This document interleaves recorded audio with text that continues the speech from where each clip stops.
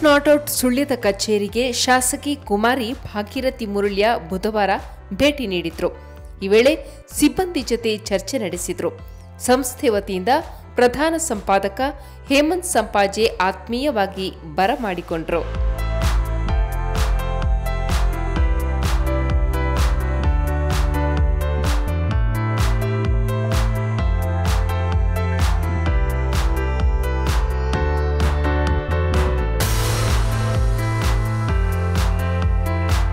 ಬಳಿಕ ನಡೆದ ಸಂವಾದದಲ್ಲಿ ಶಾಸಕರ ಜತೆಗೆ ನ್ಯೂಸ್ ನಾಟ್ ಔಟ್ ಪತ್ರಕರ್ತರ ತಂಡ ಸುಳ್ಯ ತಾಲೂಕಿನ ಸುತ್ತಲಿರುವ ಸಮಸ್ಯೆಗಳ ಬಗ್ಗೆ ಪ್ರಶ್ನೆಗಳನ್ನು ಕೇಳಿತು.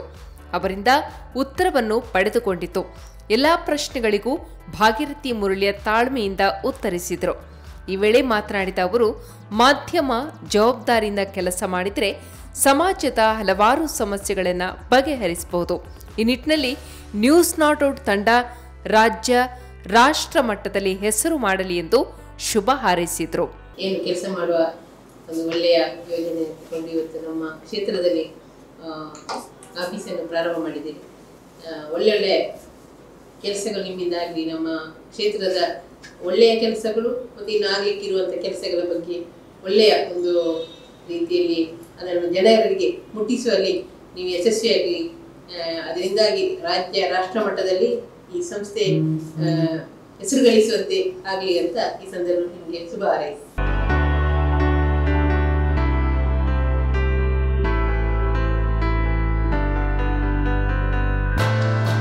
ಸೊ ನಾವು ಇವತ್ತು ಹೊಸ ಶಾಸಕಿಯವರಿಗೆ ನಾವು ನಮ್ಮ ಸಿಬ್ಬಂದಿಗಳು ಒಂದಷ್ಟು, ಅವರದೇ ಕೆಲವೊಂದಷ್ಟು ಪ್ರಶ್ನೆಗಳನ್ನು ಇಟ್ಟಿದ್ದಾರೆ ಅವರು. ಅದನ್ನು ನಿಮ್ಮ ಜೊತೆ ಅವರು ಕೇಳಿಕೊಳ್ಳಿಕ್ಕಿದ್ದಾರೆ ಅಂದರೆ, ತುಂಬ ಕಷ್ಟದ ಪ್ರಶ್ನೆಗಳಾಗಿರುವುದಿಲ್ಲ, ತುಂಬ ಫ್ರೆಂಡ್ಲಿ ಆದ ಟಾಕ್ ಆಗಿರುತ್ತೆ, ತುಂಬ ಅಫಿಷಿಯಲ್ ಕಾರ್ಯಕ್ರಮವೂ ಅಲ್ಲ, ಇದು ಜಸ್ಟ್ ಫ್ರೆಂಡ್ಲಿ ಟಾಕ್ ಅಷ್ಟೇ ನಮ್ಮದೇನಾದರೂ ಹಾಗಾಗಿ ಮೊದಲದಾಗಿ ನಾನು ನಮ್ಮ ವಿಶೇಷ ಪ್ರತಿನಿಧಿಯಾಗಿರುವಂಥ ದಯಾಮಣಿ ಅವರ ಹತ್ರ ಹೇಳ್ತಿದ್ದೇನೆ ಅವರು ದಯವಿಟ್ಟು ಒಂದಷ್ಟು ಅವರ ಡೌಟ್ಸ್ಗಳನ್ನು ಅಥವಾ ಪ್ರಶ್ನೆಗಳನ್ನು ಕೇಳಬಹುದು ಇದು ನೀವೀಗ ಶಾಸಕಿ ಶಾಸಕಿ ಆದ್ಮೇಲೆ ಏನೆಲ್ಲ ಬದಲಾವಣೆಗಳನ್ನ ಕಂಡಿದ್ದೀರಿ ಮೇಡಮ್ ನೀವು ಈ ಹಿಂದೆ ನಮ್ಮ, ನಾವು ನಿಮ್ಮನ್ನ ಇಂಟರ್ವ್ಯೂ ಮಾಡಿದಾಗ ತುಂಬಾ ನೀವು ಬೇಸರನ ವ್ಯಕ್ತಪಡಿಸಿದ್ರಿ. ಈಗ ತುಂಬಾ ಚೇಂಜಸ್ ಆಗಿರ್ಬೋದು ಅದೇ ನೀವು ಆ ಒಂದು ಎಕ್ಸ್ಪೀರಿಯನ್ಸ್ ಅನ್ನ ಹಂಚ್ಕೊಳ್ಬೇಕಂತ ನಾವು ಇಷ್ಟಪಡ್ತೀವಿ. ಚೇಂಜಸ್ ಅಂತೇನಿಲ್ಲ. ಎಂ ಎಲ್ ಎ ಆದ ನಂತರ ಒಂದು ಪದ ನಮಗೆ ಎಂ ಎಲ್ ಎ ಅಂತ ಬಂದಿದೆ. ಅದು ಬಿಟ್ಟರೆ ಮತ್ತೆ ವ್ಯಕ್ತಿ ಅವರೆಲ್ಲ ನಾವೇ. ಒಂದಷ್ಟು ಜನ ಈಗ ಮಾತಾಡಲಿಕ್ಕೆ ಬರುವಂಥದ್ದು ಟೈಮ್ ಇಲ್ಲ. ಒಂದಷ್ಟು ಫೋನ್ ಮಾತಾಡೋದು. ಇದೆಲ್ಲ ಜಾಸ್ತಿ ಆಗಿದೆ. ಅದು ಬದಲಾವಣೆ. ಮೇಡಮ್ ನಮಸ್ತೆ. ನಾನು ಅಭಿಷೇಕ್. ಮಿಸ್ ನಾಟ್ ರಿಪೋರ್ಟರ್ ಈಗ ನೀವು ಹೌದು. ಸೊ ನಿಮ್ಮ ಕನಸೇನು? ಸುಳ್ಳ್ಯದನ್ನು ಯಾವ ರೀತಿಯಾಗಿ ಮುನ್ನಡೆಸ್ತೀರಿ? ಕನಸು ದೊಡ್ಡದಿದೆ.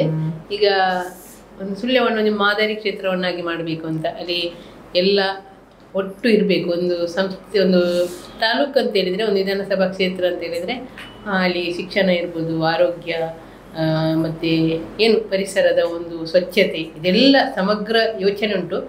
ಒಂದು ಮಾದರಿ ತಾಲೂಕಾಗಿರಬೇಕು. ಇನ್ನೊಂದು ಕಡೆಯಿಂದ ನಮ್ಮನ್ನು ಈ ತಾಲೂಕನ್ನು ಬಂದು ನೋಡುವ ಹಾಗೆ ನಮ್ಮ ತಾಲೂಕು ಆಗಬೇಕು ಅಂತ ನನ್ನ ಕನಸಿದೆ. ಎಷ್ಟರ ಮಟ್ಟಿಗೆ ಅದು ಸಾಕಾರಗೊಳ್ತದೆ ಅಂತ ಗೊತ್ತಿಲ್ಲ. ನಿಮ್ಮೆಲ್ಲ ಸಹಕಾರ ಇದ್ರೆ ಸಹಕಾರಗೊಳ್ಬೋದು ಅಂತ ನನ್ನದು ಆಗಿದ್ದೇನೆ.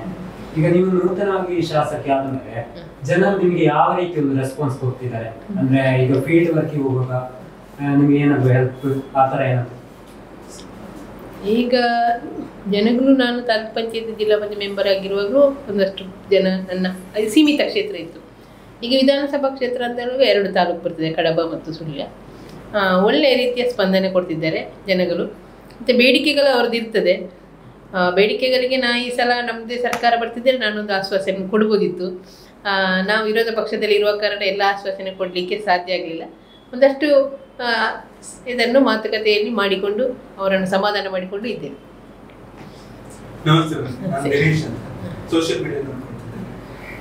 ನೀವೀಗ ಅಭಿವೃದ್ಧಿ ಕಾರ್ಯಕ್ರಮ ಕಾರ್ಯಕ್ರಮಗಳನ್ನು ಮಾಡೋದಾಗಿರ್ಬೋದು ಅಥವಾ ನಿಮ್ಮ ಯೋಜನೆಗಳನ್ನ ಇಂಪ್ಲಿಮೆಂಟ್ ಮಾಡುವಾಗ ನೀವು ಜನರಿಗೆ ತಲುಪುವಂತ ರೀತಿ ಫಾರ್ ಎಕ್ಸಾಂಪಲ್ ಯಾವ ಸೋಷಿಯಲ್ ಮೀಡಿಯಾಗಳನ್ನ ಬಳಸಿಕೊಳ್ಳುವುದಾಗಿರ್ಬೋದು ಅಥವಾ ನನಗೆ ಯಾಕೋ ಕಡಿಮೆ ಅಂತ ಅನ್ನಿಸ್ತು. ಇದನ್ನ ನೀವು ಹೇಗೆ ಅಂದ್ರೆ ಯಾವ ರೀತಿ ಬಳಸಿಕೊಳ್ಬಹುದು ಇನ್ನು ಮುಂದೆ? ನೀವೇನಾದ್ರೂ ಅದ್ರ ಬಗ್ಗೆ ಪ್ಲಾನ್ ಮಾಡಿದ್ದೀರಾ? ವಿಷಯವಾಗಿ ನಾನು ಪ್ಲಾನ್ ಮಾಡಿಲ್ಲ, ಪಕ್ಷದ ಕಡೆಯಿಂದ ಪ್ಲ್ಯಾನ್ ಮಾಡ್ತಿದ್ದಾರೆ. ಸೋಷಿಯಲ್ ಮೀಡಿಯಲ್ಲೂ ಅಷ್ಟೇ ನಾವು ಹೋಗ್ತೇವೆ. ಅಭಿವೃದ್ಧಿ ಕೆಲಸದಲ್ಲಿ ಈಗ ಮಳೆಗಾಲ ಅಲ್ಲ ಈ ಸಲ. ಈಗ ರಸ್ತೆ, ಇದೆಲ್ಲ ಚರಂಡಿ ಕೆಲಸ ಅಂತೇಳಿ ಒಂದಷ್ಟು ಅಧಿಕಾರಿಗಳಲ್ಲಿ ಹೇಳಿ ಮಾಡಿಸುತ್ತಿದ್ದೇನೆ ಮತ್ತೊಂದು ಅಧಿಕಾರಿಗಳನ್ನು ಕರೆಸಿ ಏನೆಲ್ಲ ಜನಗಳ ಸಮಸ್ಯೆ ಇದೆ, ಮಳೆಯಿಂದ ಇಲ್ಲೆಲ್ಲ ಹಾನಿಗಳಾಗಿದೆ, ಅದರ ಬಗ್ಗೆ ಎಲ್ಲ ಮೀಟಿಂಗ್ ಮಾಡಿ ಒಂದಷ್ಟು ಸ್ಥಳಗಳಿಗೆ ಭೇಟಿ ಎಲ್ಲ ಕೊಟ್ಟಿದ್ದೇನೆ. ಅದನ್ನೆಲ್ಲ ಒಂದಷ್ಟು ಮೀಡಿಯಾದಲ್ಲಿ ಹಾಕ್ತಿದ್ದಾರೆ ನಮ್ಮ ಕಾರ್ಯಕರ್ತರು. ಅದು ಬಿಟ್ಟು ಬೇರೆ ಮೀಡಿಯಾಗಳನ್ನು ನಾನು ಇಟ್ಕೊಳ್ಳಿಲ್ಲ. ಮುಂದಕ್ಕೆ ನೋಡುವ ಸೋಷಿಯಲ್ ಮೀಡಿಯಾದಲ್ಲಿ ಇದೆ. ಇದೆ ಇದೆ ಇದೆ ಸೋಷಿಯಲ್ ಮೀಡಿಯಾದಲ್ಲಿ ವರ್ಕ್ ಮಾಡ್ತಿದ್ದಾರೆ. ಅವರು ಕೂಡ ಹೊಸಬ್ರು ಸ್ವಲ್ಪ. ಆದ ಕಾರಣ ಒಂದಷ್ಟು ಇನ್ನು ಮುಂದೆ ಫಾಸ್ಟ್ ಆಗ್ಬೋದು. ಮಹಿಳೆಯರಿಗಾಗಿ ಏನಾದರೂ ಪ್ಲಾನ್ಸ್ ಇದಾವ? ಯಾಕಂತ ಹೇಳಿದ್ರೆ ಈಗ ಫೀಲ್ ನಿಮ್ಗೆ ಗೊತ್ತಾಗುತ್ತೆ ಫೀಲಿಂಗ್ಸ್ ಮಹಿಳೆಯರಿಗೆ ಏನಾದರೂ ಕಷ್ಟಗಳು ಆತರ ಏನಾದರೂ ಪ್ಲಾನಿಂಗ್ಸ್ ನಿರುದ್ಯೋಗಿಗಳಿಗೂ? ಆ, ಉದ್ಯೋಗ ಕೊಡಬೇಕು ಅಂತ ಒಂದು ಉಂಟು. ಏನು ನಮ್ಮಲ್ಲಿ ಏನು ಯೋಜನೆ ಮಾಡಬೇಕು ಅನ್ನೋದರ ಬಗ್ಗೆ ಕೂಡ ಯೋಚನೆ ಮಾಡ್ತಿದ್ದೇನೆ.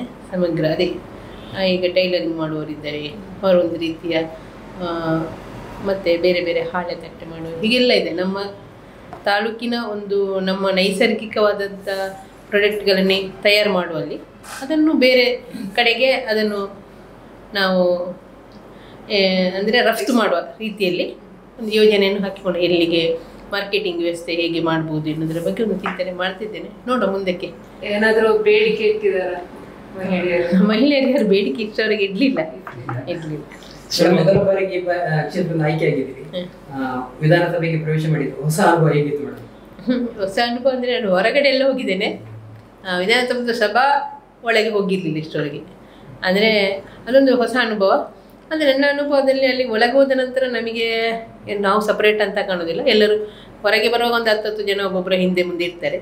ಒಳಗೆ ಬರುವ ಒಬ್ಬನನ್ನೇ ಬಿಡುದು. ನನ್ನನ್ನು ಒಬ್ಬರನ್ನೇ ಅವರು ಆದ್ದರಿಂದ ನನಗೆ ಅದೇನು ಎಲ್ಲ ಸಮಾನತೆ ಉಂಟಲ್ಲ. ಅಲ್ಲಿ ಏನು ನಮಗೆ ಅಷ್ಟು ವ್ಯತ್ಯಾಸ ಕಾಣಲಿಲ್ಲ. ಮೇಡಮ್ ಮತ್ತೆ ಈಗ ಸರ್ಕಾರ ಪಕ್ಷ ಬೇರೆ ಇದೆ. ಆದರೆ ನಿಮ್ಮ ಯೋಜನೆಗಳಿಗೆ, ನಿಮ್ಮ ಯೋಚನೆಗಳಿಗೆ ಈ ರೀತಿ ಒಂದು ಯೋಜನೆ ಜಾರಿ ತರಬೇಕು. ನನ್ನ ಕ್ಷೇತ್ರ ಕೂಡ ಅಭಿವೃದ್ಧಿ ಆಗ್ಬೇಕನ್ನೋ ಇದು- ಇದಕ್ಕೆ. ನಿಮ್ದು ಪಕ್ಷ ಸರ್ಕಾರದ ನಿಮ್ದು ಬೆಂಬಲ ಸಿಗುತ್ತಾ ಆ ನಿರೀಕ್ಷೆ ಇದೆ ಸಿಗ್ಬೋದಂತ ನಿರೀಕ್ಷೆ ಇತ್ತು. ಇದು ನೋಡುವಾಗ ನಿರೀಕ್ಷೆ ಇನ್ನು ನಾವು ಏನು ಮಾಡುವಾಗಿಲ್ಲ. ನೋಡುವ ಮುಂದಕ್ಕೆ. ಅಂದರೆ ಈಗಲೇ ಒಂದು ರೀತಿಯ ಕಂಡೀಷನ್ ಆಗ್ತಾ ಇದ್ದಾರೆ ಸರ್ಕಾರದ ಯೋಜನೆಗಳಿಗೆ. ಹಾಗಿರುವ ನಮ್ಮ ಯೋಜನೆಗಳಿಗೂ ಕಂಡೀಷನ್ ಹಾಕಿ ಹಾಕ್ತಾರೆ ಅನ್ನುವ ಒಂದು ಇದು ಇದೆ. ಅದಕ್ಕೆ ಮುಂದೆ ನೋಡುವ ನಮ್ಮದು ಹೋರಾಟ. ನಾವು ಹೋರಾಟದಿಂದಲೇ ಬೆಳೆದು ಬಂದ ಪಕ್ಷ ನಮ್ಮದು ಮುಂದೆ ಹೋರಾಟ ಮಾಡಿ ಆದರೆ ಅದನ್ನು ಪಡ್ಕೊಳ್ಳುವ ಒಂದು ಯೋಜನೆಯನ್ನು ಮಾಡ್ತೇವೆ. ನಾನು ಈಗ ಒಂದು ಶಕ್ತಿ ಯೋಜನೆ ಅಂತ ಹೇಳಿ ಬಂದಿದ್ದಾರೆ ಈಗ ನಾವು ಸುಳ್ಯದಿಂದ ನಾನೀಗ ಬೆಳ್ಳಾರಿಯಿಂದ ಸುಳ್ಯಕ್ಕೆ ಬರ್ಬೇಕಾದ್ರೆ ತುಂಬಾ ರಶ್ ಇರ್ತದೆ. ಅದೇ ಸ್ಟೂಡೆಂಟ್ ಗಳಿಗೆ ಬಸ್ ನಿಲ್ಲಿಸುದಿಲ್ಲ ನೆಕ್ಸ್ಟ್ ಅದರಲ್ಲಿ ರಶ್ ಮತ್ತೆ ಹಿರಿಯ ನಾಗರಿಕರಿಗೆ ಸೀಟ್ ಸಿಕ್ಕುದಿಲ್ಲ ಅಲ್ಲಿ ಈಗ ವಿದ್ಯಾರ್ಥಿಗಳಿಗೆ ಅವರಿಗೆ ಈಗ ಸ್ಕೂಲಿಗೆ ಒಂದು ಒಂಬತ್ತುವರೆಗೆ ಬರ್ಬೇಕಂದ್ರೆ ಅಲ್ಲಿ ಅದು ಬಸ್ ಮಿಸ್ ಆದ್ರೆ ಮತ್ತೆ ಕ್ಲಾಸ್ ಕ್ಲಾಸ್ಗಳು ಮಿಸ್ ಆಗ್ತದೆ. ಹಾಗೆ ಇದರಿಂದ ನೀವು ಈಗ ಸುಳ್ಯ ತಾಲೂಕಿಗೆ ನೀವು ಏನಂತ ಅದಕ್ಕೆ ಪರಿಹಾರ? ನಾವು ಪರಿಹಾರ ಕಂಡುಕೊಳ್ಳಲಿಕ್ಕೆ ಅಂದರೆ ನಾವು ಪ್ರಯತ್ನ ಮಾಡ್ಬೋದು. ಸರ್ಕಾರ ಒಂದು ಯೋಜನೆ ತಂದಿದೆ. ಯೋಜನೆ ತರುವಾಗ ಯೋಚನೆ ಮಾಡಿ ಯೋಜನೆ ತರಬೇಕಿತ್ತು. ಅದನ್ನು ಅವರು ಮಾಡಲಿಲ್ಲ. ಇವತ್ತು ನಾವು ಯೋಜನೆ ತರುವಾಗ, ಈಗ ಬಸ್ಸು ಫ್ರೀ ಕೊಡುವಾಗ ಎಷ್ಟು ಬಸ್ಸು ಬೇಕಾಗ್ಬೋದು? ಅಲ್ಲಿ ಎಷ್ಟು ಮಹಿಳೆಯರಿದ್ದಾರೆ? ಆ ಕ್ಷೇತ್ರದಲ್ಲಿ ಎಷ್ಟು ಮಹಿಳೆಯರಿದ್ದಾರೆ? ಅವರು ಯಾವ ಕಡೆಯಿಂದ ಯಾವ ಕಡೆಗೆ ಹೋಗುವವರು ಹೆಚ್ಚಿರ್ತಾರೆ ಅದನ್ನೆಲ್ಲ ಅವರು ಒಂದು ಸರ್ವೆ ಮಾಡಬೇಕಿತ್ತು ಮೊದಲಾಗಿ. ಯೋಜನೆ ತರುವುದಕ್ಕೆ ಮೊದಲು. ಅದಕ್ಕೆ ಸರಿಯಾಗಿ ಅಲ್ಲಿ ಬಸ್ಸುಗಳ ವ್ಯವಸ್ಥೆ ಮಾಡಬೇಕು. ಇವತ್ತು ಶಾಲೆ ಮಕ್ಕಳಿಗೆ ಸೀಟ್ ಇಲ್ಲ. ಮಹಿಳೆಯರಿಗೆ ಹೋಗ್ಲಿಕ್ಕೂ ಆಗುದಿಲ್ಲ ನಮ್ಮಲ್ಲಿ ಅಷ್ಟು ಗೊಂದಲ ಇಲ್ಲದಿದ್ದರೂ ಒಂದಷ್ಟು ಸಮಸ್ಯೆಗಳು ನಮ್ಮಲ್ಲಿ ನಾವು ನಿಭಾಯಿಸ್ಕೊಂಡು ಹೋಗುವ ಜನಗಳಿದ್ದ ಕಾರಣ. ಈ ಮೇಲೆ ಕಡೆ ನೋಡ್ಬೇಕು ಕೆಟ್ಟದಲ್ಲಿ ಅಲ್ಲಿ ಕಂಡಕ್ಟರ್ಗೆ ಹೊಡೆಯುದು ಇಲ್ಲಿ ಡ್ರೈವರಿಗೆ ಹೊಡೆಯುದು ಇದೆಲ್ಲ ಸಮಸ್ಯೆ. ಆ, ಈ ನಿಟ್ಟಿನಲ್ಲಿ ನಾವು ಮೊನ್ನೆನೆ ಚರ್ಚೆ ಮಾಡಿದ್ದೇವೆ. ಇದು ಒಂದು ಇದಕ್ಕೆ ಸರಿಯಾದ ಯೋಜನೆ ಹಾಕಿಕೊಂಡೇ ಇದನ್ನು ಪ್ರಾರಂಭ ಮಾಡಬೇಕಿತ್ತು. ಅರ್ಧಂಬರ್ಧ ಯೋಜನೆ ಮಾಡಬಾರ್ದಿತ್ತು ಅಂತೇಳಿ ಹೋರಾಟ ಮಾಡಿದೆ. ಮುಂದೆ ಬಸ್ಸುಗಳನ್ನು ಹಾಕ್ತೇವೆ ಅಂತ ಹೇಳಿದ್ದಾರೆ. ನೋಡುವ. ಒಂದು ವಾರ ಒಂದು ತಿಂಗಳು. ನೋಡಿ ಮತ್ತೆ ನಮ್ಮದು ಹೋರಾಟದ ಒಂದು ಪ್ರಯತ್ನ. ನೀವು ಕೂಡ ಅದಕ್ಕೆ ನಮ್ಮೊಟ್ಟಿಗೆ ಸಹಕಾರ ಕೊಡಬೇಕು. ಮೇಡಮ್ ಇದು ಸುಳ್ಯ ತಾಲೂಕಿಗೆ ನೀರಿಂದು ಈಗ ಕುಡಿಯುವ ನೀರಿನ ಸರ ಸರಬರಾಜು ಬಗ್ಗೆ ತುಂಬಾ ಕಂಪ್ಲೇಂಟ್ ಇದೆ ಹಿಂದಿನಿಂದ ಅಂದ್ರೆ ಸರಿಯಾಗಿ ಶುದ್ಧ ಕಲುಷಿತ ನೀರು ಪೂರೈಕೆ ಆಗ್ತಿದೆ ಅನ್ನುವಂಥದ್ದು ಈಗಲೂ ಕೆಲವೊಮ್ಮೆ ಈ ಮಳೆ ಅಂದರೆ ಸರಿಯಾದ ಇದ ಶುದ್ಧೀಕರಣ ಘಟಕ ಇದಾಗಿಲ್ಲ. ಈ ಇದನ್ನು ನೀವು ಯಾವ ರೀತಿ ನಿಭಾಯಿಸ್ತೀರಿ? ಮೇಡಮ್ ಈಗ ಎಕ್ಸಾಂಪಲ್ ಅಂದ್ರೆ ನಾವು ಈಗ ನಾವಿರುವಂತ ನಮ್ಗೆ ರೂಮ್ ಕೂಡ ಬರುವಂತ ನೀರು ಕೂಡ ಕಲುಷಿತವಾಗಿ ಬರುತ್ತೆ. ಅಂದ್ರೆ ಕೆಲವು ಇದಿರುತ್ತೆ. ಬಟ್ ಅದಕ್ಕೆ ವಿಚಾರಿಸುವಾಗ ಇಲ್ಲಿ ಅಂದ್ರೆ ನಮ್ದು ಎಷ್ಟು ಕೆಪಾಸಿಟಿ ಇರುವ ಈಗ ಪಾಪ್ಯುಲೇಷನ್ ಜಾಸ್ತಿ ಆಗಿದೆ. ಸೊ ನಮ್ದು ಇರೋದು ಓಲ್ಡ್ ಇದು ಮಿಷಿನ್ ಈ ಸಾಲ್ವ್ ಪ್ರಾಬ್ಲಮ್ ಹೇಗೆ ಸಾಲ್ವ್ ಮಾಡ್ತೀವಿ? ಈಗ ನಮ್ದು ಕೇಂದ್ರ ಸರ್ಕಾರ ಮೋದಿ ಯೋಜನೆ ಬಂದಿದೆ. ಜಲಜೀವನ ಮಿಷನ್ ಶುದ್ಧ ಕುಡಿಯುವ ನೀರಿನ ಯೋಜನೆ ಅಂತೇಳಿ. ಅದರಲ್ಲಿ ಎಲ್ಲರೂ ನೀವು ಅದಕ್ಕೆ ಒಂದು ಸ್ಪಂದಿಸಿಕೊಂಡು ಆ ಯೋಜನೆಯನ್ನು ಪಡ್ಕೊಂಡ್ರೆ ಶುದ್ಧ ಜಲ ಕುಡಿಲಿಕ್ಕೆ ಅದು ಕೂಡ ಯೋಜನೆ ಅದೇ ಕಲುಷಿತ ನೀರಿನಿಂದಾಗಿ ಈಗ ರೋಗಿಗಳ ರೋಗ ನರಳುವಂಥದ್ದು ಇದೆಲ್ಲ ಆಗಿದೆ. ಅದಕ್ಕೆ ಯೋಜನೆ ಮಾಡಿಕೊಂಡು ಇವತ್ತು ಮೋದಿಯವರು ಜಲಜೀವನ್ ಯೋಜನೆಯನ್ನು ತಂದರು. ಅದರಲ್ಲಿ ಎಲ್ಲರೂ ಅದಕ್ಕೆ ಆ, ಯೋಜನೆಯನ್ನು ಪಡ್ಕೊಂಡು ಶುದ್ಧವಾದ ನೀರನ್ನು ಕುಡಿಯುವ ರೀತಿಯಲ್ಲಿ ಆಗಬೇಕು ಅಂತೇಳಿ ಅವರ ಯೋಜನೆ ಉಂಟು. ಅದನ್ನೇ ಮುಂದುವರಿಸುವ.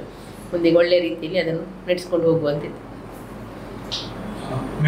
ಜನರಿಗೆ ಯೋಜನೆಗಳು ಎಷ್ಟೇ ಜಾರಿಯಾದ್ರೂ ಕೂಡ ಆ ಯೋಜನೆಗಳು ಸಮರ್ಪಕವಾಗಿ ಯಾರಿಗೆ ಮುಟ್ಟದೆ ಅನ್ನೋದು ಬಹಳ ಮುಖ್ಯ. ಆ ಯೋಜನೆಗಳನ್ನ ಮುಟ್ಟಿಸುವಲ್ಲಿ ಈಗ ಕೆಲವರು ನಿಮ್ಮ ಪಕ್ಷದಲ್ಲೇ ಇರ್ಬೋದು. ಜನಸಂಪರ್ಕ ಯೋಜನೆ ಅಂತ ಅಂದ್ರೆ ಜನರ ಜೊತೆ ಬೆರೆಯುವಂತದ್ದು ವಾರದಲ್ಲಿ ಇಷ್ಟು ದಿನ ಈ ರೀತಿ ಇಲ್ಲಿ ಎಲ್ಲ ಇರ್ತೇನೆ ಅಂತ. ಆ ರೀತಿಯಲ್ಲಿ ನಿಮ್ಮ ಕಾರ್ಯಕ್ರಮಗಳ ಇದು ಹೇಗಿದೆ ಅಂತ. ಅಂದ್ರೆ ನೀವು ಯಾವ ರೀತಿ ಯೋಜನೆಗಳನ್ನ ನಾವು ಈಗ ಯೋಜನೆ ಅಂದ್ರೆ ನಮ್ಮ ಕಾರ್ಯಕರ್ತರನ್ನು ಮೀಟ್ ಆಗ್ಲಿಕ್ಕೆ ರೀಚ್ ಆಗ್ಲಿಕ್ಕೆ ನನಗೆ ಒಬ್ಬಳಿಗೆ ಸಾಧ್ಯ ಇಲ್ಲ ಅದಕ್ಕೆ ತಾಲೂಕು ಮಟ್ಟದಲ್ಲಿ ಒಂದೊಂದು ಒಬ್ಬೊಬ್ಬರ ನಾಯಕರನ್ನು ನಾವು ನೇಮಕ ಮಾಡ್ತಿದ್ದೇವೆ. ಒಂದು ಡಿಪಾರ್ಟ್ಮೆಂಟಿಗೆ ಒಬ್ಬರಾಗಿ ಎಲ್ಲ ಡಿಪಾರ್ಟ್ಮೆಂಟೇ ಇದೆ. ಸುಳ್ಯಕ್ಕೆ ಒಂದು ಡಿಪಾರ್ಟ್ಮೆಂಟಿಗೆ ಒಂದಿಷ್ಟು ಜನ ಪಡಬಕ್ಕೆ ಅಂತೇಳಿ ನಮ್ಮ ಕಾರ್ಯಕರ್ತರನ್ನು ಜೋಡಿಸುವ ಅನುಭವಿ ಕಾರ್ಯಕರ್ತರನ್ನು ಅಲ್ಲಿಟ್ಟುಕೊಂಡು ಅವರ ಸಮಸ್ಯೆಗಳನ್ನು ಕೂಡಲೇ ಸ್ಪಂದಿಸುವ ರೀತಿಯಲ್ಲಿ ಒಂದು ಕಾರ್ಯ ಇದನ್ನು ತಂಡವನ್ನು ಮಾಡ್ತಿದ್ದೇವೆ. ಈಗ ನಮ್ಮ ಸುಳ್ಯ ತಾಲೂಕು ಅಂದರೆ ಅಡಿಕೆ ಬೆಳೆಗಾರರ ತವರೂರಾಗಿತ್ತು ಒಂದ್ಸಲ. ಈಗ ನೋಡಿದ್ರೆ ಯಾ ಎಲ್ಲ ಕಡೆ ಹಳದಿ ರೋಗ ಬಂದು ಎಲ್ಲ ಇದಾಗಿದೆ. ಇದ್ರ ಬಗ್ಗೆ ಏನಾದರೂ ಗಮನ ಸೆಳೆಯುವ ಪ್ರಯತ್ನವನ್ನ ನೀವು ಮಾಡ್ತಾ ಇದ್ದೀರಾ? ಅದಕ್ಕೆ ಮೊನ್ನೆ ಮಾತಾಡಬೇಕಂತಿತ್ತು. ನಮಗೆ ಹೊಸಬ್ರಿಗೆ ಅಷ್ಟು ಟೈಮ್ ಕೊಡಲ್ಲ. ಎಲ್ಲ ಹಲಬ್ರಿಯಲ್ಲಿ ಚರ್ಚೆ ಮಾಡುವ ಕಾರಣ ವಿಧಾನಸೌಧದಲ್ಲಿ. ಮಾತಾಡಬೇಕಂತುಂಟು. ಮಾತಾಡ್ಬೇಕಂತ ಈಗ ಏನಾಗಿದೆ ರಿಪೋರ್ಟ್ ಅಂದರೆ ಒಮ್ಮೆ ಸರ್ವೆ ಎಲ್ಲ ಮಾಡಿದ್ದಾರೆ. ಅದರ ಬಗ್ಗೆ. ಅದರ ಒಮ್ಮೆ ಮುಂದಕ್ಕೆ ಅದನ್ನು ಚರ್ಚೆ ಮಾಡಲಿಕ್ಕಿದೆ.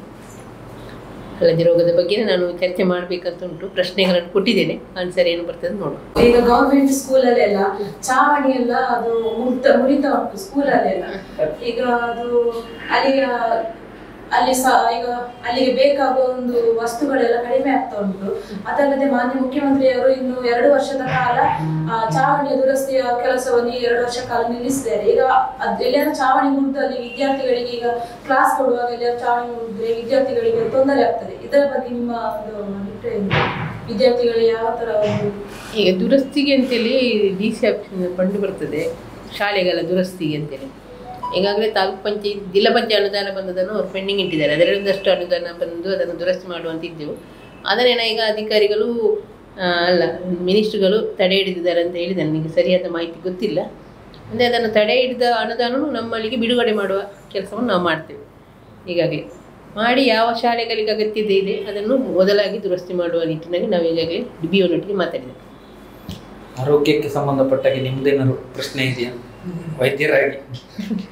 ಸುತ್ತ ತಮ್ಮ ಸುಳ್ಯ ಅಥವಾ ಸಂಬಂಧಪಟ್ಟದ್ದು ಏನಾದ್ರು ಒಂದು ಪ್ರಶ್ನೆ ಇದೆಯಾ? ಹಳ್ಳಿಯಲ್ಲಿ ಸ್ವಲ್ಪ ಡಾಕ್ಟರ್ಸ್ ಕಡಿಮೆ ಇದ್ದ ಕಾರಣ ಔಷಧಿ ಕೂಡ ಸ್ವಲ್ಪ ತೊಂದರೆ ಆಗಿದೆ ಇದು ಮಾಡಲಿಕ್ಕೆ ಎಲ್ಲರಿಗೂ ದೇ ಕಾಂಟ್ ಅಫೋರ್ಡ್ ಎಲ್ಲರೂ ಇದು ಮಾಡಲಿಕ್ಕೆ ಆಗಲಿಲ್ಲ ಹಾಗೆ ಹಳ್ಳಿಯವರಿಗೆ ಕೂಡ ಸ್ವಲ್ಪ ಮಟ್ಟಿಗೆ ಔಷಧಿಯ ಸಹಾಯ ಕೂಡ ಸ್ವಲ್ಪ ಮಾಡಲಿಕ್ಕೆ ಆಗ್ತದೆ ಈಗ ನಾವು ಪಂಜದಲ್ಲಿ ಪ್ರಾಥಮಿಕ ಉಂಟು ಅದನ್ನು ಮೇಲ್ದರ್ಜೆಗೆ ಇರಿಸಬೇಕಂತ ಉಂಟು ಕಡಬದಲ್ಲಿ ಉಂಟು. ಅದನ್ನು ಮೇಲ್ದರ್ಜೆಗೆ ಇರಿಸಿದಾಗ ಅಲ್ಲಿಯ ಜನಗಳಿಗೆ ಒಂದಷ್ಟು ಪ್ರಯೋಜನ ಆಗ್ತದೆ. ಆ ನಿಟ್ಟಿನಲ್ಲಿ ಪ್ರಯತ್ನವನ್ನು ಮಾಡ್ತಿದ್ದೆ. ಅದೇ ರೀತಿ ಎಲ್ಲ ಈಗ ಎನ್ ಎಂ ಕ್ವಾರ್ಟರ್ಸ್ಗಳಲ್ಲಿ ಅವರು ಇರುವುದಿಲ್ಲ ಕೆಲವೊಂದು ಸಂದರ್ಭ ಅದನ್ನೆಲ್ಲ ಈಗ ಟೆಸ್ಟ್ ಮಾಡಿ ಅವರೆಲ್ಲೆಲ್ಲ ಇಲ್ಲ ಇಲ್ಲದಲ್ಲಿಗೆ ಅಲ್ಲಿಯ ಅವರನ್ನಲ್ಲಿ ಇರುವ ಹಾಗೆ ಮಾಡಿ ಅಲ್ಲಿಯ ಪರಿಸರದ ಜನರಿಗೆ ಅದರಿಂದ ಹೆಚ್ಚಿನ ಪ್ರಯೋಜನ ಸಿಗುವಾಗೆ ಮಾಡುವಂತ ಇದೆ. ಮತ್ತೆ ನಮ್ಮದು ಜನೌಷಧಿ ಕೇಂದ್ರ ಇದ್ದು ಸರ್ಕಾರದ ಕೇಂದ್ರ ಸರ್ಕಾರದ ಒಂದು ಅಷ್ಟು ಜನರಿಗೆ ಪ್ರಯೋಜನ ಆಗಿದೆ. ಮತ್ತೆ ನೂರೆಂಟು ಯೋಜನೆ ಇದ್ದ ಕಾರಣ ತುರ್ತಾಗಿ ನೋಡಿ ಯಡಿಯೂರಪ್ಪ ಮಾಡಿದಂಥ ಯೋಜನೆ ಮುಖ್ಯಮಂತ್ರಿ ಆಗಿರುವಾಗ ಒಳ್ಳೊಳ್ಳೆ ಯೋಜನೆ ನೂರೆಂಟು ನಗು ಮಗು ಮಕ್ಕಳ ಇಂಥೆಲ್ಲ ಯೋಜನೆ ಉಂಟು. ಆ ಯೋಜನೆಯಿಂದಾಗಿ ಒಂದಷ್ಟು ಜನರಿಗೆ ಈಗ ಸಮಸ್ಯೆಗಳು ಕಡಿಮೆ ಉಂಟು. ಮುಂದಕ್ಕೆ ನೋಡುವ ಬೇರೆ ಯೋಜನೆ ಹೊಸ ಯೋಜನೆ ಇಂಥವರು ಎಲ್ಲ ಹೇಳಿಕೊಟ್ರೆ ಹೇಗೆ ಮಾಡ್ಬೋದು ಅಂತ ಹೇಳಿಕೊಟ್ರೆ ಮುಂದೆ ಒಳ್ಳೆ ಯೋಜನೆಯನ್ನು ಮಾಡಿಕೊಡ್ತಾರೆ ಈಗ ನಮ್ಮ ಸಂಸ್ಥೆಯಿಂದ ನಾವು ವೈದ್ಯರ ದಿವಸಕ್ಕೆ ಇವರನ್ನು ಗೌರವಿಸಬೇಕು ಅಂತಿದ್ವಿ. ಆದರೆ ಸಾಧ್ಯ ಆಗಿರಲಿಲ್ಲ. ಅವತ್ತು ಇವತ್ತು ನಿಮ್ಮ ಕೈಯಿಂದಲೇ ಅದನ್ನು ಆ ಪ್ರೋಗ್ರಾಮ್ ನಡೆಸಿಕೊಡ್ಬೇಕು ಅಂತ ನಾವು ಕೇಳ್ಕೊಳ್ತೇವೆ. ತಾಲೂಕು ಪಂಚಾಯತ್ ಮಾಜಿ ಅಧ್ಯಕ್ಷ ಚನಿಯ ಕಲ್ತಡ್ಕ ರೈತ ಮೋರ್ಚಾ ಉಪಾಧ್ಯಕ್ಷ ಮಹೇಶ್ ರೈ ಚಂದ್ರಶೇಖರ್ ನಡೀಲು ಸೇರಿದಂತೆ ಹಲವಾರು ಮಂದಿ ಉಪಸ್ಥಿತರಿದ್ದರು. ಇದೇ ವೇಳೆ ಹಿರಿಯ ವೈದ್ಯ ಡಾಕ್ಟರ್ ಎಂಬಿ ಪಾರಿಯವರನ್ನ ಸನ್ಮಾನಿಸಲಾಯಿತು.